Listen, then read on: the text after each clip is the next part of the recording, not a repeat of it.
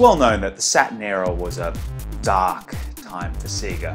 The console had trouble establishing itself against both the emerging Sony PlayStation and the Nintendo 64. The European and American markets both shunned the Saturn. However, there was one bright spot Japan. In Japan, the Saturn was far more successful, with much higher sales of both hardware and software. There was a huge number of popular Japanese games that never saw release overseas, making the Japanese Saturn feel like an entirely different console to its American and European counterparts. There are several reasons for this, one of which is that Sega supported the Saturn in Japan with one of the best advertising campaigns gaming has ever seen. Move over Reggie and make room Kevin Butler. There's only space for one console celebrity in this episode, and his name is Segata Sanshiro. How's this for a character? A rugged Japanese warrior who lives in solitude on a mountain. He's a master of multiple forms of martial arts. He trains physically every day using a giant Sega Saturn that he carries around on his back. Every once in a while, this legend descends from his isolated mountain hideaway to visit the cities of Japan, where he hunts down and attacks those who dare refuse to play Sega Saturn games. Segata does not discriminate young or old, weak or strong, all are subject to his rage.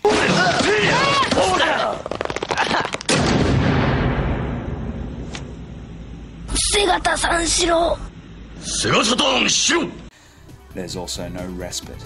Segata could appear at any time in any place, even on your favorite public holiday.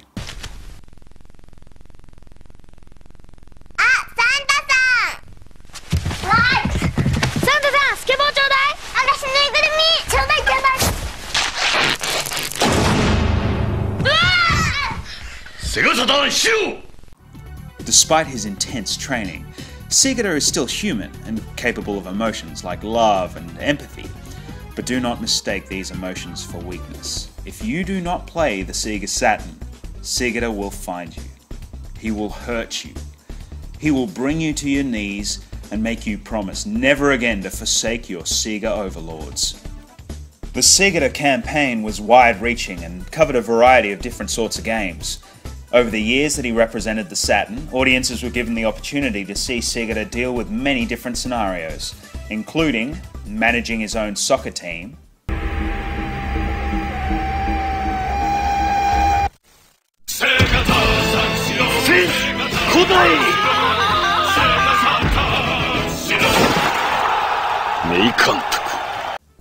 administering questionable CPR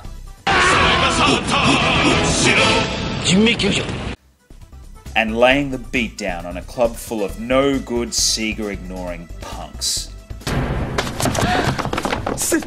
Segata Sanshiro!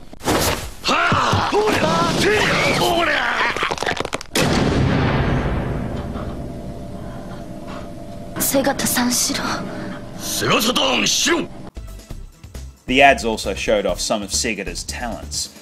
For example, in an honourable fight against an almost equally strong foe, Segata manages to get the upper hand and throw the other fighter so hard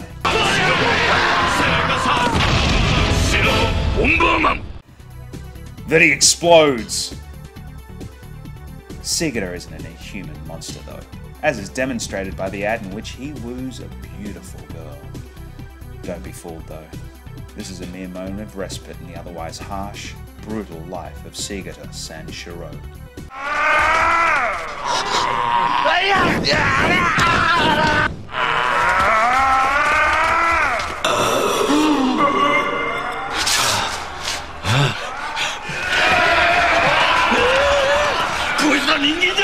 Segata became a massive celebrity in Japan, leading the charge for the Saturn in the country and even selling more than 100,000 copies of his music single. Sadly, Segata seems to have found his end, although in the most heroic way possible. During a meeting between Sega execs that presumably birthed the Dreamcast, the enemies of Sega launched a missile at the building.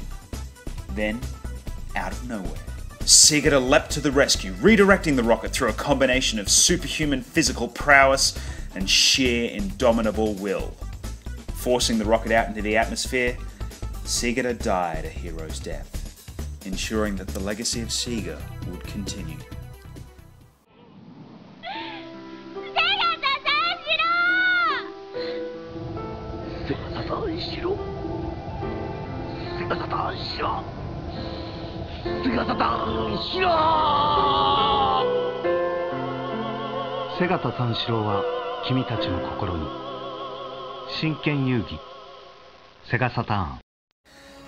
So far, Sega has resisted the urge to resurrect Segata, leaving the character permanently tied to what many consider Sega's most costly mistake.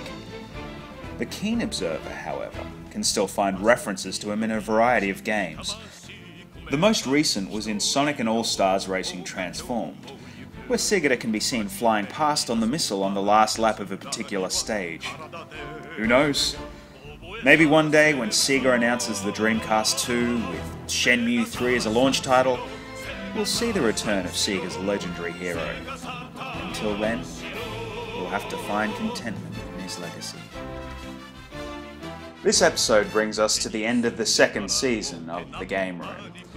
As before, we will have special videos being uploaded during the hiatus, and we do have another season coming in the pipeline for later in the year. So, keep an eye on the channel. And as always, please remember to like this video, subscribe, and follow us on Twitter. See you for the next season.